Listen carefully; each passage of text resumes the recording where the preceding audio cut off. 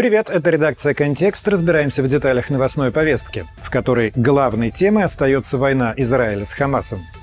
Эти события, если выражаться журналистским штампом, стали очередным витком арабо-израильского конфликта. Чаще всего его отсчитывают от времени создания еврейского государства в 1948 и мы уже рассказывали эту историю здесь, в контексте. Однако на самом деле это лишь верхушка айсберга.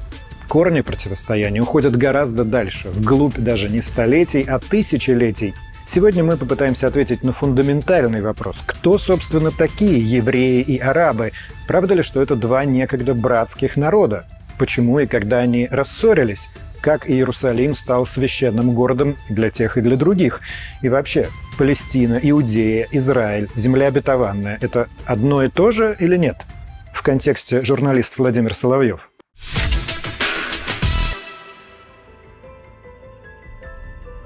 Конец XIX века – все еще эпоха империй. Великобритания, Россия, Австро-Венгрия и другие делят мир между собой. Внутри империи набирают силу национально-освободительные движения. Разные народы стремятся к своим собственным государствам. Рассеянные по миру, но не утратившие идентичность евреи – не исключение.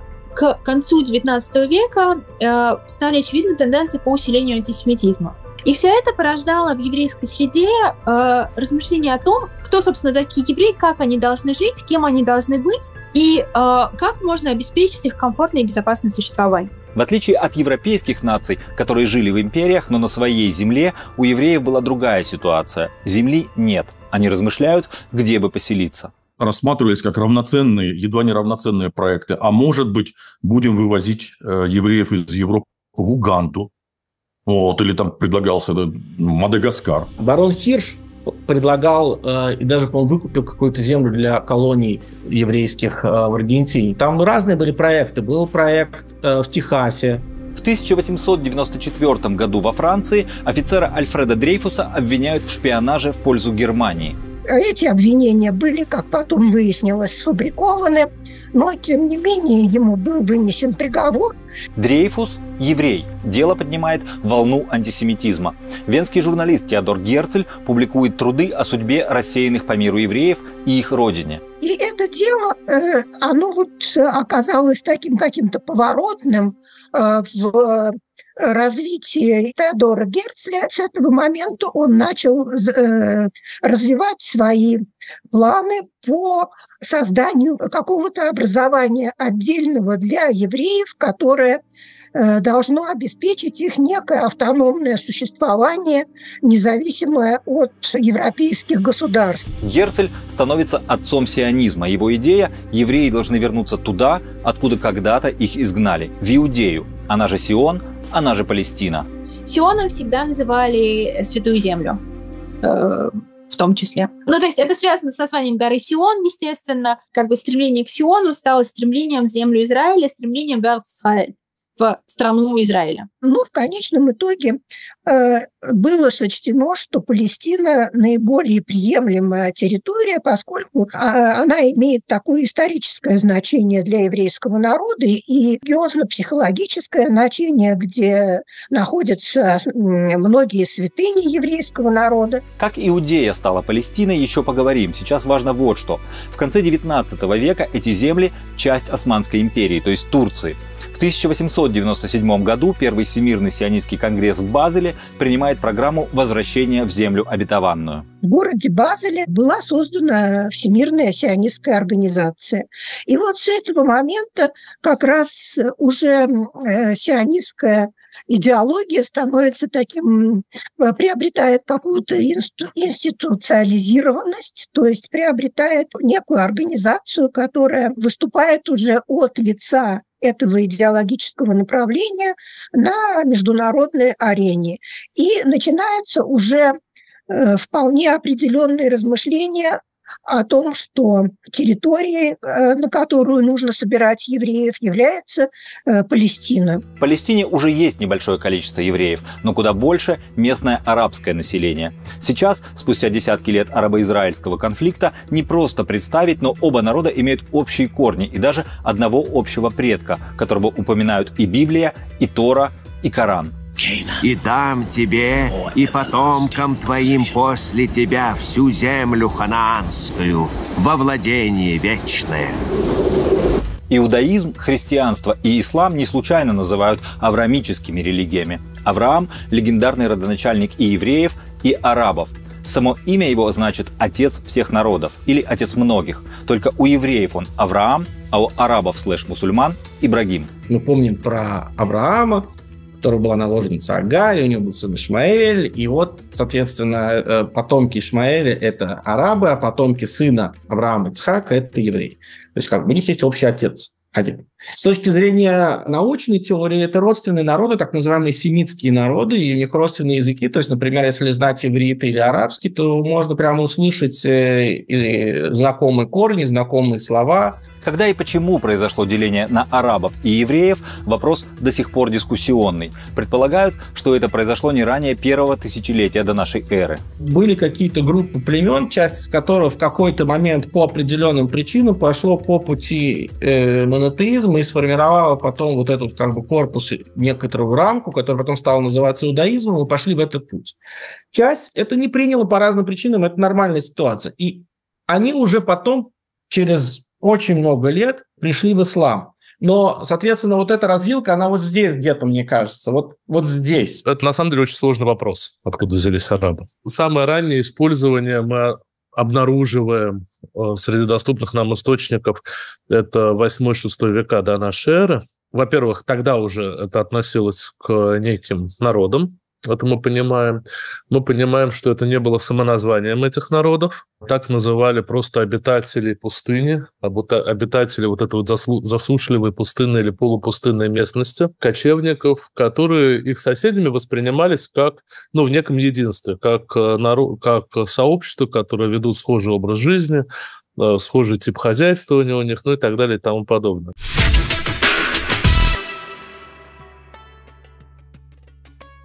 Никто не оспаривает, евреи и арабы, точнее их древние предки, объединенные в племена, жили на территории, которую называли Ливантом. Это в том числе нынешние Сирия, Палестина, Ливан, Иордания и Израиль.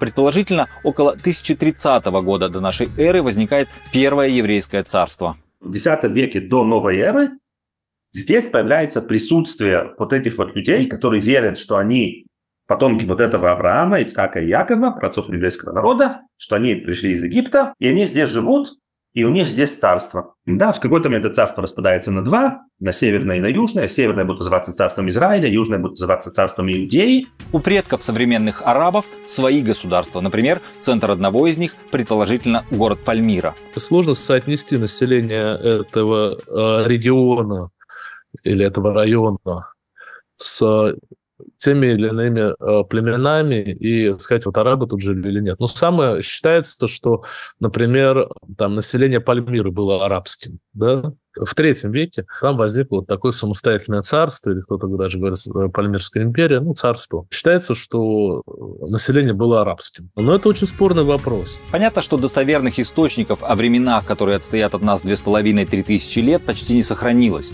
Тем более эти земли постоянно переходили из рук в руки. Первое еврейское царство уничтожат ассирийцы. На их место придут вавилоняне. Они разрушат главную святыню, построенный царем Соломоном первый храм и угонят местных жителей в плен. Вавилонское пленение – еще один хорошо известный сюжет из Библии. Следующие завоеватели, персы, разрешат евреям вернуться. В Иерусалиме будет заново отстроен храм, главная святыня иудаизма. При персах уже его отстраивают с теми средствами, которые у них были, гораздо меньше, чем у Соломона. Потом Хасманейское царство, когда оно уже независимо, его отстраивают чуть больше, это уже вторая версия второго храма. И то, что на макетах на всех и на картинках, на всех, которых мы гуглим, это уже третья версия второго храма, версия Ирода, Римской империи. В наше время та самая храмовая гора в Иерусалиме регулярно становится местом противостояния мусульман и иудеев, и даже причиной восстаний. Дело в том, что сейчас на вершине горы, там где раньше был иудейский храм, находятся важные святыни ислама. Но они появятся гораздо позже. Сначала, в 63 году до нашей эры, земля Израиля или Иудея перейдет под контроль римлян. У них с евреями и у евреев с ними были плохие отношения. При римлянах второй храм будет разрушен, а точку в конфликтах поставит император Адриан. Они уничтожили еврейское царство окончательно на следующие 2000 лет. Но опять же, когда римляне здесь правят, важно понять, евреи живут в многих местах. Евреи живут не только здесь уже, на этот момент. Конец еврейского присутствия на этой земле, в истории мы говорим, что при Римской империи произошел. Если в таком простом, как бы видите, говорить, да, то а, император приказал э, сравнять Иерусалим с землей, там, посыпать солью, назвать это Эли Капитолины. Тогда же и утвердится название Палестина. Вот вообще понятие Палестина, Филастын, да, от э, филистимлян происходит, которые населяли ее, это 12-11 века до нашей эры. Римляне попытались вообще убрать упоминание о евреях, поэтому стали называть это Палестиной всю территорию. И если Иерусалиму в итоге вернут старое название, то название Палестина доживет до наших дней. Правда, нынешняя Палестина – это только часть той исторической Палестины, в которую входили и современный Израиль, и Иордания, и даже часть Египта. 330 году нашей эры император Константин сделал христианство господствующей религией Римской империи. При нем в Палестине появляются важные христианские святыни – Базилика Рождества Христова и храм Гроба Господня. Седьмой век нашей эры. Разрозненные племена обретают свою веру – ислам – ну и вот Мухаммад начинает проповедовать в 610 году, в 622 году он переселяется в э, Ясреб, то, что сейчас Мединой называют, стал называться, да, Мединой потом. И э, в Медине уже создается э, такое не только религиозное сообщество, но и государственное образование. Вскоре возникает первое исламское государство, праведный халифат. Халиф Умар, один из сподвижников Мухаммада, завоевывает Палестину и берет Иерусалим. Начинается арабский период – в Иерусалиме появляются исламские святыни. У да. нас есть две главные, наверное, мечети в Иерусалиме. Это мечеть Алякса, то есть отдаленнейшая мечеть. Это не та, которая часто на картинках, потому что сразу у всех на картинках сразу другая мечеть. Это мечеть, которая называется Купол скалы, которая была построена другим халифом в самом конце 7 начале 8 века э, халифом Абдельмаликом. Вот это две э, важнейшие да, э, мечети. И на Куполе скалы стоит обратить внимание, что тогда было написано имена двух пророков. Это Айса, Иисус, и Мухаммад, то есть это вот такой символ некого единения был. При этом Алякса на руинах разрушенного еще римлянами второго храма иудеев. От него осталась только знаменитая стена плача. Это западная часть стены вот этой вот пристройки. Это не стена храма, это стена пристройки, на которой стоял храм. И та стена плача, которую мы ходим сегодня, это отрезок западной стены. Как будет стена плача на иврите? Будет Хакотель Хамаарави. Дословный перевод на русский – западная стена. Да, слово плач в иврите не фигурирует. Э, нету. В английском есть то и то. Есть э, Western Wall, западная стена, есть Wailing Wall, ну, стена как бы скорби. Отношения между арабами-мусульманами и остающимися в Палестине иудеями складываются относительно мирно, особенно по меркам сегодняшнего дня когда Мухаммад туда переселяется, подписывается э, такое соглашение, которое получило э, название Дустур аль-Медина, да, Конституция Медины, которая определяла права и обязанности различных групп населения э, Ясреба. И согласно этому документу, мусульмане и иудеи э, Ясреба, они обозначались как единая община, но исповедующая разные религии. Потом уже возникнет конфликт с этими иудеями у Мухаммада. Они будут не готовы там признать его власть, он их выселит из Медины. Ну и дальше там будут в том числе и драматические события но момент вот этого взаимодействия, он, он присутствовал. С точки зрения ислама и евреи, и христиане, это так называемый статус зимми, народ кни. А, и у них, конечно, естественно, их статус был ниже, чем статус э, мусульман, но гораздо более терпимый. Достаточно сказать, что в средневековой Испании, мусульманской Испании, евреи, например, были министрами финансов, полководцами, личными врачами халифов и другими важными деятелями при дворах мусульман. Следующий период истории Палестины – это крестовые походы. Европейские рыцари-христиане пытаются изгнать мусульман, но в конце концов крестоносцы проигрывают. Палестина вновь мусульманская, правда контролируют ее уже не арабы, а мамлюки, а след за ними османы. В 1517 году турецкий султан Селим I присоединяет Палестину к Османской империи. И вот тут мы снова возвращаемся туда, откуда начали. Конец 19 века, возрождение сионизма. Евреи начинают возвращаться в землю обетованную. О одной из наиболее известных переписей, по данным которой есть, с 1884 года, на территории Палестины проживало чуть больше 400 тысяч э, мусульман, чуть больше 40 тысяч христиан и порядка 15 тысяч евреев. Евреи на этот период, на конец 19 века, составляли, ну, сколько? Менее 3% фактически населения. А в основном это были евреи, которые переезжали на территорию Палестины из религиозных соображений. Алья – это переселение организованное или менее организованное переселение евреев в Палестину. И вот первое алия, такое массовое переселение, оно происходило в 1882-1903 году. Вторая алия датируется 1904-1914 годом. И третья алия – это уже 20-е годы 20-го столетия, 1919-1929 год. Чтобы переселенцы могли там жить и работать, им была необходима земля. Покупку финансируют в частности состоятельные европейские евреи, включая Ротшильда. При этом возникла коллизия продавали земли одни люди, но жили и работали на них другие. Представьте себе ситуацию, при которой вот вы живете на своей земле полторы тысячи лет. Приходят люди, которые там не живут полторы тысячи лет. Говорят, слушайте, эта земля наша, мы ее готовы у вас купить. Но покупают-то не у крестьян они эту землю, а у землевладельцев. Что происходит? Земля куплена, есть официальные документы, земля куплена. И Илья говорит, так, ребят, теперь, значит, смотрите, вот у вас там месяц, условно говоря, собирайте ваши манатки и до свидания. А куда вы? Да нет, да, какая разница, это наша земля уже. То есть мы тут хотим что-нибудь построить. Наше, еврейское. Ну, вот момент как бы бедные арабские крестьяне оказываются реально не у дела. А землю у них, ну, условно говоря, отобрали. Те товарищи, которые продали эту землю, эти деньги не реинвестировали в Палестину, а забрали это их куда-нибудь себе. То есть они находятся в чистом проигрыше.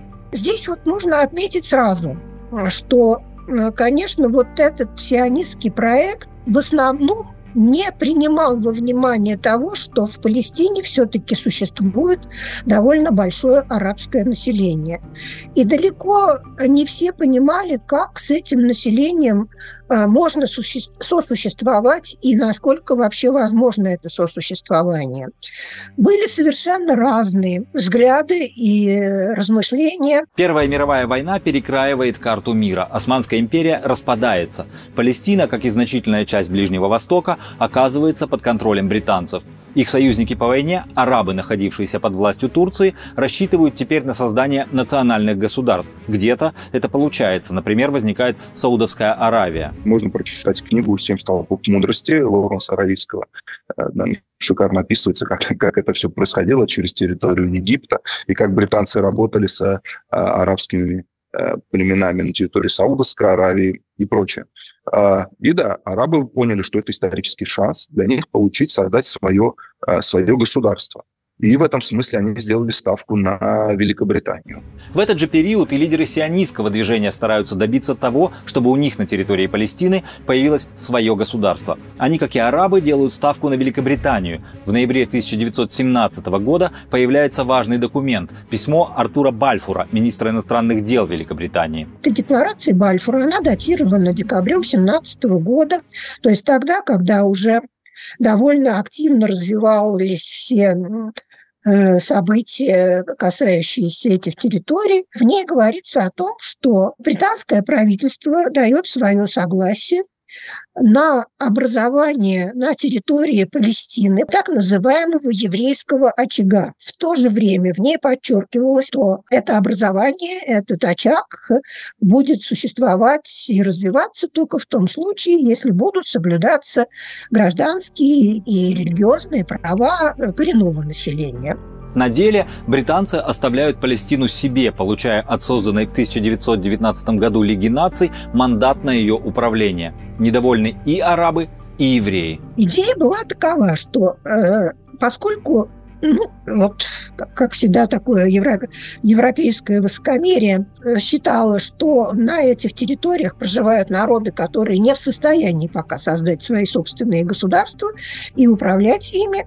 Здесь нужно применить какое-то временное управление э, со стороны более развитых э, участников э, международных отношений. К тому моменту еврейское население Палестины активно растет и создает кибуцы, особую форму сельхозкоммуны, и отряды самообороны. Кибуц – это же коммуна. Переводит, а коммуна гораздо более высокого, высокой степени обобществления, чем колхоз любой советский. При этом вооруженная коммуна. И эти кибуцы сейчас существуют уже в каком? Четвертом, в пятом поколении.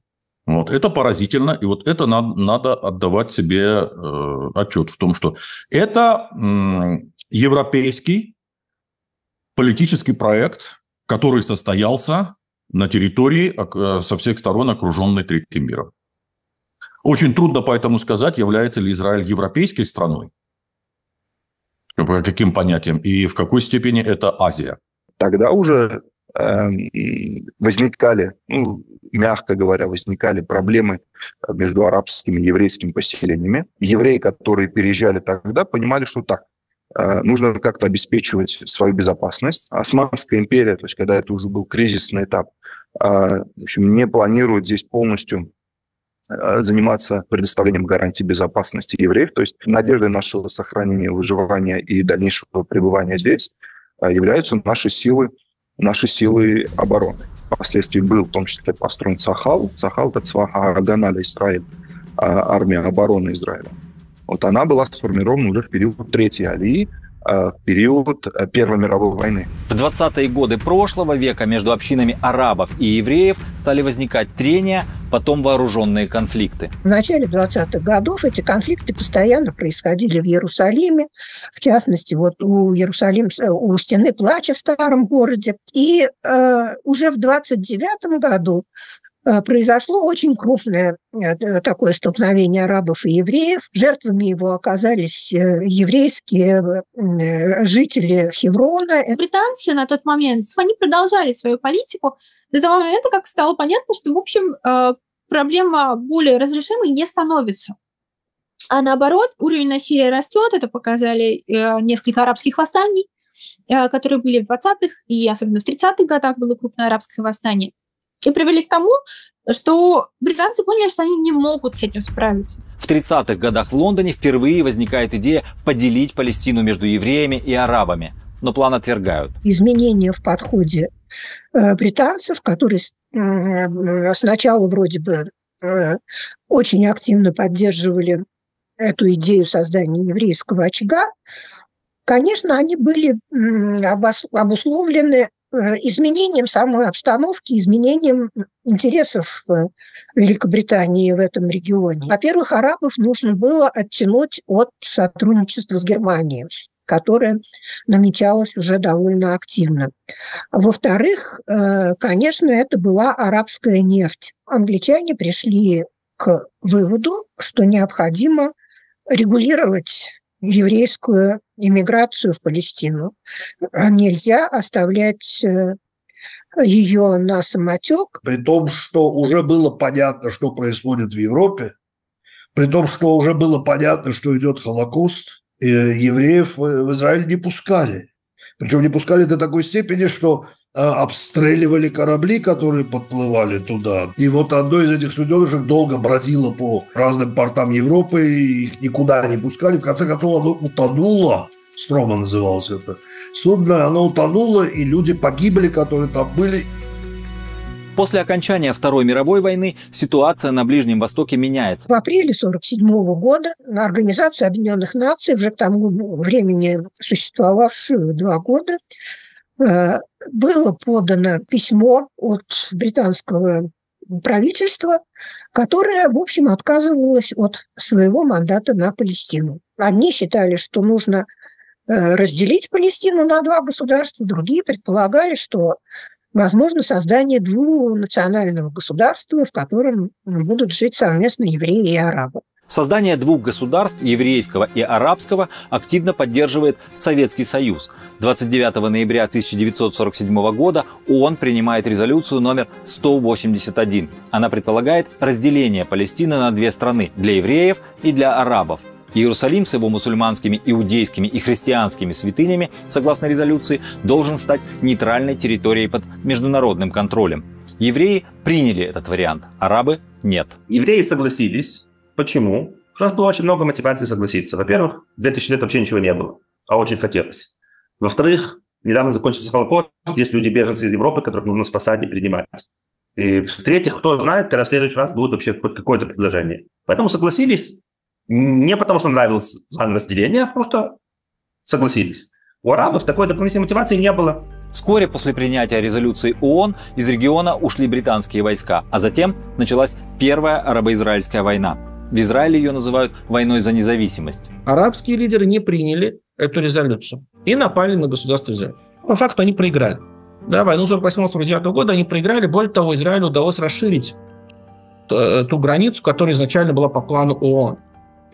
И, собственно говоря, вот эта вот граница, которая возникла по итогам войны 48-49 годов, это знаменитая зеленая линия. Зеленая линия – это просто линия на карте с зеленым маркером зеленого цвета, которая была проведена в качестве вот этой временной пере, границы перемирия между э, э, воюющими арабскими странами и только что созданным государством Израиль. И эта граница сегодня считается мировой признанной в мире границей государства Израиль которая шире изначально того, что было признано в ООН. С тех пор и продолжается арабо-израильский конфликт, который пошел на новый виток в этом октябре. Палестинцы в итоге получили автономию, но так и не получили государство. Израиль сумел сохраниться, увеличить территорию и развиться, но так и не получил мир. Вообще в арабо-израильском конфликте есть три основные, три основных вопроса, сформулируем их, три основные корзины есть. А, первое а, – вопрос границ, вопрос беженцев и вопрос статуса Иерусалима. Вопрос беженцев. То есть, когда началась Первая арабо-израильская война, большое количество беженцев, говоря, образовалось с арабской стороны. То же самое было по итогу там, Второй арабо-израильской войны, которая в этом смысле является ключевой. Второе – статус Иерусалима, а, потому что фактически полностью Иерусалим сейчас контролирует Израиль. А третье – это границы. То есть фактически а, выход Израиля с тех территорий, которые он оккупировал, и созданием уже палестинского государства. И проблема в том числе в небольшом размере этой территории и в крайней символической значимости. То есть для евреев эта территория имеет колоссальную символическую значимость. Нет ни одной другой э, земли в мире, которая бы была настолько значимой в символическом смысле. Но и для э, местных жителей, для арабов Палестины, она тоже играет колоссальное значение, потому что они просто исторически там жили, так сложилось. Если на кончике вилки, что называется, да, то по сути это некий конфликт территориальный и э, конфликт самоопределений э, двух народов, который возник, э, в, ну, по сути, в межвоенный период, на самом-то деле, да, между Первой и Второй мировыми войнами. То есть этому конфликту, ну, вот реальность физически сто лет попытка найти свое место в современном мире, современный на тот момент Ближний Восток, когда происходил вот постколониальный перераспределение и политическая реорганизация всей системы Ближнего Востока. И вот на этой почве возник вот этот конфликт, который мы сегодня, к сожалению, наблюдаем в таком страшном виде.